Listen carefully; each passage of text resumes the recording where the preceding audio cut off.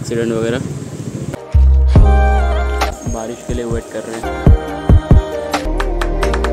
सत्ताईस किलोमीटर दूर Bhairav Kund guys good morning welcome to my new blog तो आज का सीन ऐसा कि हम लोग आज जा रहे हैं भैरव कुंड जो इधर से लगभग लगभग 90 किलोमीटर दूर है। तो अभी फ़िलहाल हम लोग घर से निकल आए हैं। कुछ भी खाया नहीं, पिया नहीं, अभी सुबह के हो रहे हैं आठ। और हम लोग जा रहे हैं भैरव कुंड रास्ते में कहीं रुक के, होटल में रुक के कुछ ब्रेकफास्ट करेंगे। फ़िलहाल अभी निकलते हैं। तो रास्ते में मिलते हैं आप लोगों से।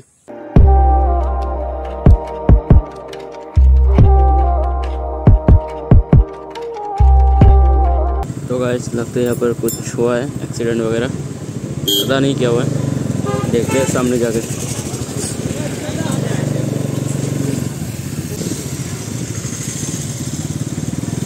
गाइस थोड़ा देख के चलाया करो।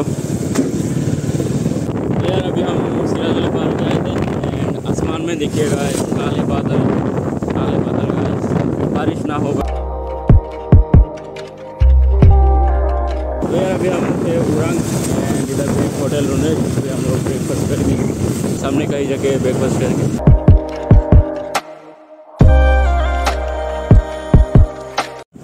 यार हम लोग घर से निकले थे आठ बजे एंड अभी हो रहे हैं नाइन फोर्टी नाइन एंड इधर से लगभग और थर्टी फाइव किलोमीटर है। हम रास्ते पे हम लोग कहीं पे भी ब्रेक नहीं लिया गया एंड ये देखिए।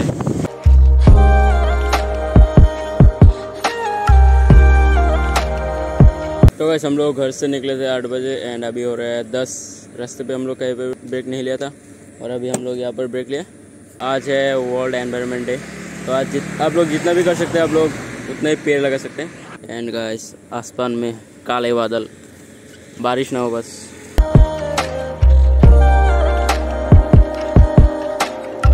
तो यार, जैसे हम लोग रोहता क्रॉस है एंड बारिश होना स्टार्ट हो गया। एंड कहीं पे रुकेंगे गाइस होटल भी नहीं मिल रहा है। उस पे रोक के कुछ खा लेता। तो यार, जब घर से निकले थे, तब तो बारिश नहीं थी बट रोहता पहुँचने के पहुँचने के बाद ही बारिश स्टार्ट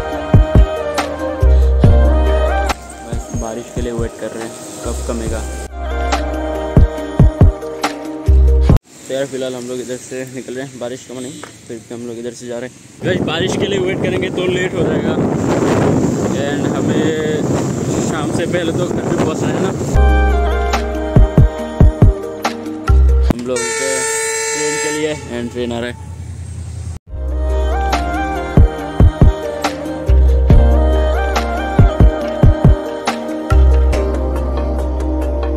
गलत रोड ले लिया था। क्योंकि सामने उस तरफ़ ब्रिज टूटा हुआ है। तो यार फ़िलहाल हम लोग जा रहे हैं ब्रिज के नीचे से।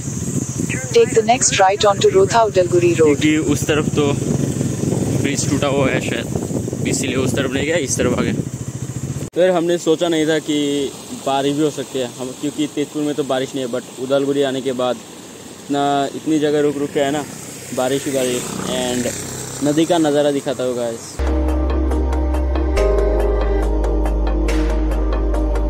यार आपको पता है कि हम लोग तीन घंटे से सफ़र करते हैं तेजपुर से उदालगुरी रास्ते में कहीं पे भी रुक के हम लोग कुछ भी नहीं खाए कहीं जाके खाते हैं।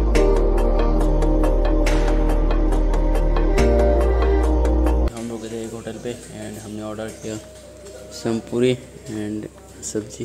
तो खाते हैं, बाद में मिलते हैं आप लोगों से। तो बस हम लोग होटल पे रुके, कुछ खा के एंड निकल चुके हम लोग भैरवकुंड के लिए। इधर से लगभग पाँच किलोमीटर होगा। और हम लोग जा रहे हैं इधर से। भैरवकुंड का नज़ारा इधर से दिख रहा है। तो यार, कल रात बारिश के वजह से देखिए, रोड में पूरा पानी आ गया।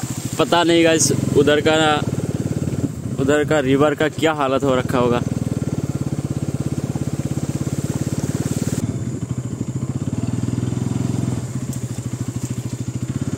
बस खतरनाक ऑफ़ रोडिंग हो रहा है और एडवेंचर भी हो रहा है क्योंकि हम लोग चारों तरफ़ जंगल के अंदर है। चारों तरफ़ जंगल। तो यार, इधर पे चारों तरफ़ रबर का खेत है एंड दिखा तो आप लोगों को।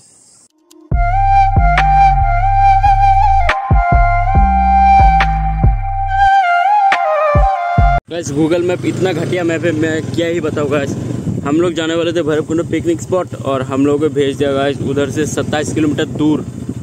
तो हम लोग आ गए थे गलत गलत जगह पर और अभी हम लोग जा रहे हैं भैरवकुंड पिकनिक प्लेस की ओर। और यहाँ का ये खूबसूरत नज़ारा का खूबसूरत नज़ारा।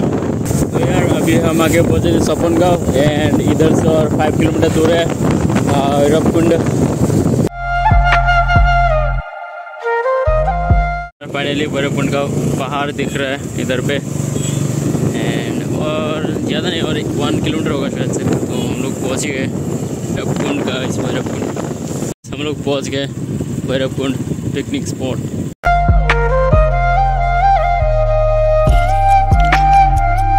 तो वैसे हम लोग घर से लगभग 100 या 150 किलोमीटर दूर है और हम लोग आए गाइस ये नज़ारा देखने के लिए। वैसे हम लोग फ़िलहाल जाएँगे वो वाले मंदिर पे। इधर से दिख नहीं रहा मैं जूम करके दिखा देता हूँ। तो बस आप लोगों को मंदिर पे मिलते हैं। तब तक आप लोग सिनेमेटिक चेक करेगा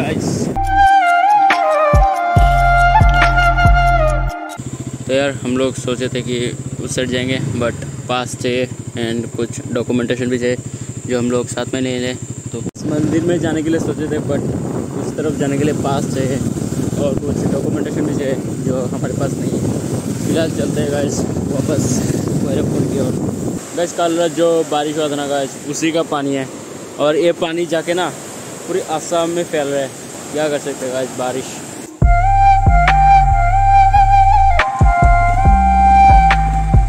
तो यार, अभी हम रुके थे एक जगह, और इधर का नज़ारा देखिए गाइस ये नज़ारा।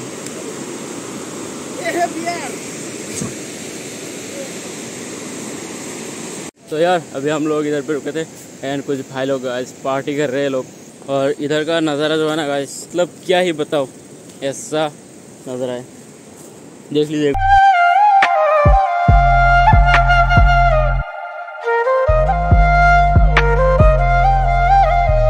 पहली बार ऐसा नज़ारा देखने को मिला गाइस मुझे। आप लोग तो देख ही चुके होंगे किसी अलग चैनल पे, अलग वीडियो पे। तो मेरे इस चैनल को सब्सक्राइब कर लीजिए। इधर ही कहीं रेड कलर का आ रहा होगा सब्सक्राइब ना होगा ये चेक करेगा, इस ऊपर का इस काले बादल।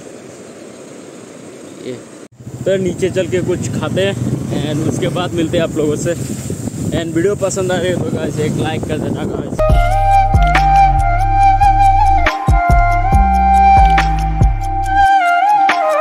valley of Bhairav Kund.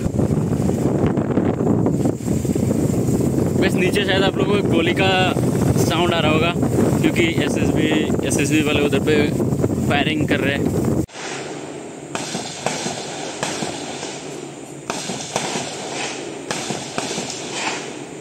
तो यार, अभी हम आए मंदिर दर्शन करने के लिए।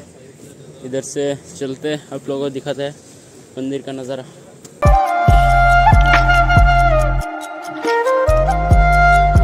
तो गाइस यहाँ से पूरी वैली का एक व्यू देख लीजिए आप लोग। एंड जो आप लोगों को साउंड आ रहा है, वो उधर से, इधर से चल रही है। फायरिंग का आवाज़। तो नीचे चलते हैं फ़िलहाल।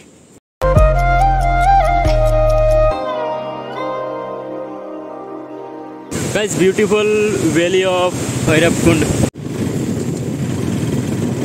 I love Bhairav Kund two three S P picnic spot के साथ जाने के लिए आपको एक टोकन लेना पड़ता है, जिसका प्राइस है थर्टी रुपीज़ एंड हम लोग उसी साइड जा रहे हैं अभी पिकनिक स्पॉट की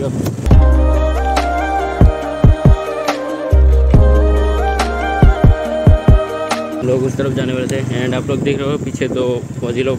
उन लोगों ने बोल दिया इस उस साइड नहीं जा रहे हैं, क्योंकि उस साइड फायरिंग चल रही है. तो यार दिस इज़ ब्यूटीफुल नज़ारा of Bhairav Kund.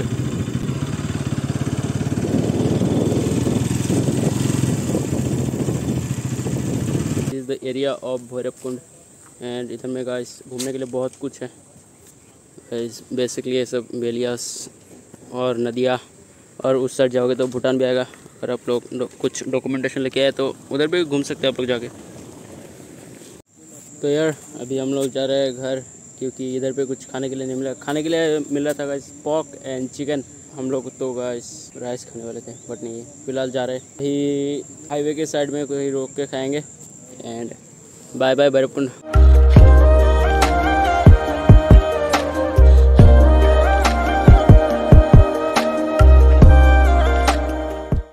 अभी हम रुके थे होटल चंद्रमा में एंड हमने कुछ ऑर्डर किया सब फ्राइड राइस एंड स्टिंग खाते हैं और वीडियो को यही बैन करते हैं।